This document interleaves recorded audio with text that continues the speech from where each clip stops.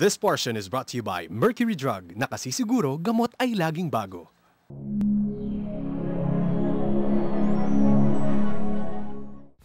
Today on Generation RX Plus. Collagen. It may be a word you've heard before or something you're familiar with, but do you know what it is and what it does? Well, it has something to do with skin. Know about collagen and the aging skin in our Ask the Experts. Well, here's something another for your skin, and it's something to wink about. Put the fate of your skin to one of the well-known skin treatment centers in town. Find out more about the signature services of Wink Laser Studio. All these and more on Generation RX Plus.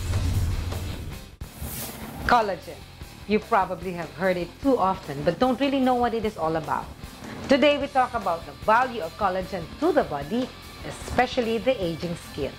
Good morning, this is your host, Dr. Cecil Katapang, and you are watching Generation RX Plus.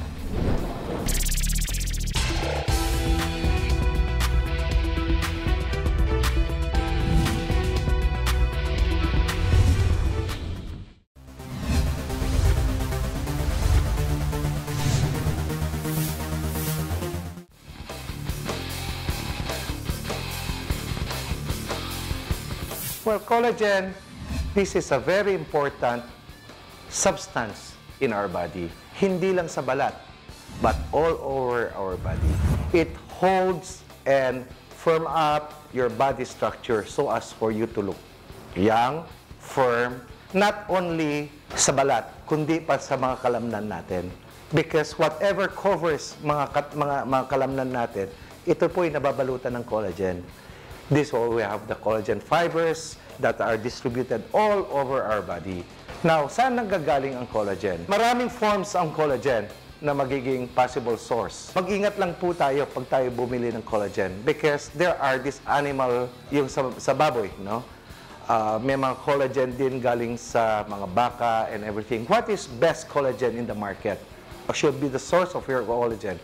Ang collagen pinakamaganda are fish collagen. Ito pong produkto na ito ay madalas ginagamit sa beauty. Yan yung mga available ngayon sa market.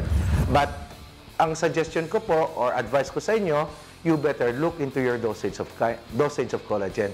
At saka kung ang collagen nyo ba is being produced by a compa prestigious company. There is a product that's being produced in Japan now, a collagen form that are in nanoform. Ito yung mga collagen, pag ininom mo, pasok ka agad sa katawan natin. Now, do we need really collagen for us to look young? Of course.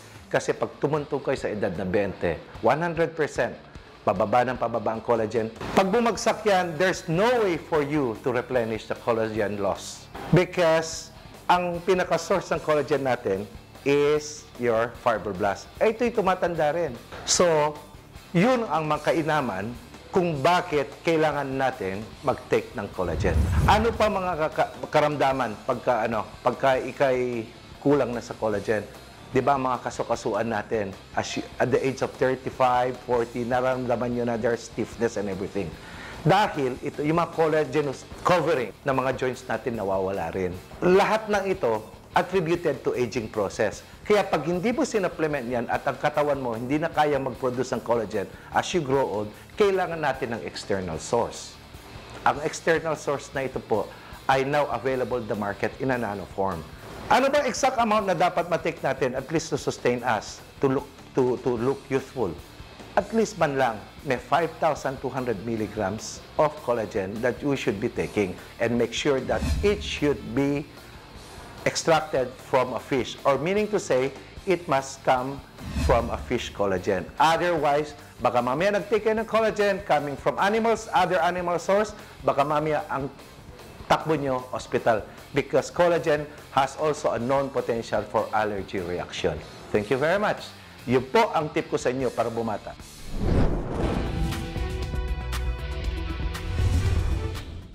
We hope that today's episode has explained fully the value of collagen to the aging skin. I would like to thank Metathion for my whitening care, Evening Primrose Oil with Fish Oil, my midlife partner, Color Collection Cosmetics by Tupperware brand for my makeup, Make Me Blush for my hair and nail care, and Malunggay Life Oil for giving me the pure power of Mother Nature.